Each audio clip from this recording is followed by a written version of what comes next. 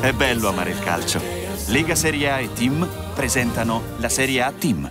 Amici della Serie A Team, un saluto dallo stadio Bentegori di Verona ad Andrea Di Staso. Ellas Verona Chievo, il decimo appuntamento con il derby di Verona.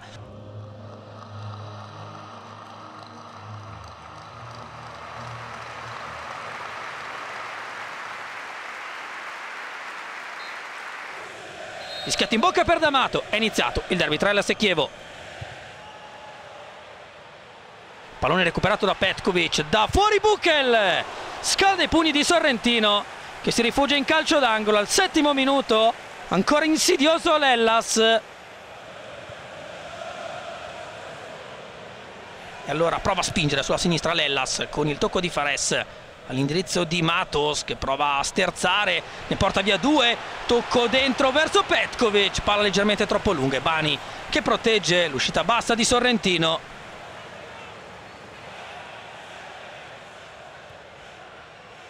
Occhio inglese che si prepara alla conclusione col sinistro, c'è una deviazione, c'è calcio d'angolo. Traiettoria precisa! Si era liberato Bani, si era liberato ancora Meggiorini sul palo lungo. Questa è un'opportunità decisamente importante per il Chievo ad un passo dal gol dell'1-0. Cacciatore di prima intenzione verso Meggiorini, ancora una grande strisciata, prova Castro a inserirsi, tiene botta su Vukovic e Nicolas con le gambe preserva lo 0-0.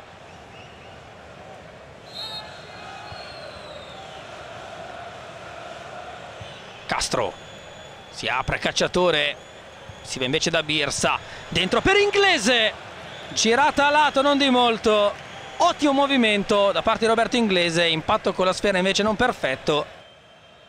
La traiettoria di Verde però è bassa. Una seconda possibilità, il giocatore napoletano che prova a prendere il fondo. La girata di Caracciolo! E il Verona in vantaggio al 52esimo con la rete di Antonio Caracciolo. Gol numero 2 in Serie A Team. Dopo quello al Milan è stato il più lesto di tutti ad avventarsi sul pallone. Arretrato, apparentemente innocuo di Verde si rompe l'equilibrio al Bentegodi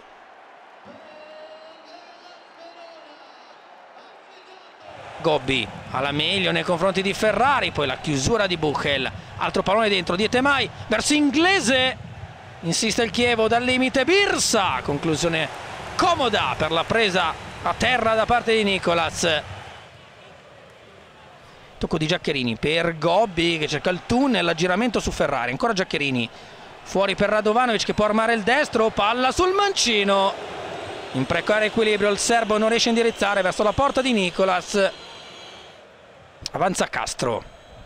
Ennesimo pallone sulla destra ed ennesimo cross di cacciatore anche questo deviato. Zuculini riesce a ritrovare la coordinazione per intervenire. Poi Calvano la perde. Pallone perso sanguinosamente. Birsa cerca il cross Buca l'allontana colpisce malissimo Castro Punizione affidata al destro di Fossati, mentre inizia l'ultimo minuto regolamentare. Va a cercare quasi una deviazione sotto porta da parte di Petkovic, che è effettivamente l'ultimo a toccare il pallone. Fischio di D'Amato, va Giaccherini a cercare una deviazione, allontana non del tutto Zuccolini, da fuori Gobbi, palla in curva e non c'è più tempo. Lellas vince il derby,